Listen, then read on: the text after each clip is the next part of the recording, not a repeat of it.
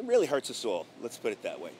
Chet Kalwaski, who is from North Babylon, loves to grab lunch in Babylon Village, but he stopped short in his tracks when he heard the price of parking is about to go up. Right now, 25 cents gets you two hours of parking on the street.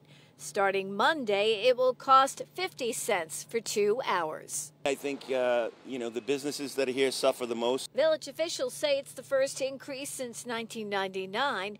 Mariana Rufo, who was meeting her cousins for a bite, had this to say. Everything is going up, up, up, except our paychecks. But Brian Kuntz, who lives in the village, felt differently. 50 cents for two hours is a steal when everywhere else they're paying twice that. Jim Wickert, who owns Unique Golf, which has been located on Main Street for almost three decades, had this opinion. Minister here to protect the businesses.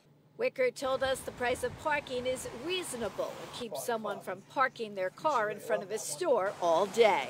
We're here to make money. We spoke with Village Mayor Mary Adams, who told us the village is still recovering financially from the pandemic.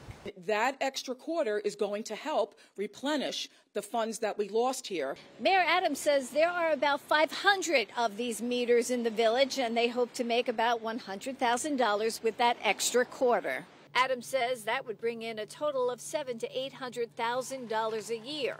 And some of the money will go towards creating a Saturday night code enforcement shift. We could complain, but really it's not that bad. In Babylon, Danielle Campbell, News 12, Long Island.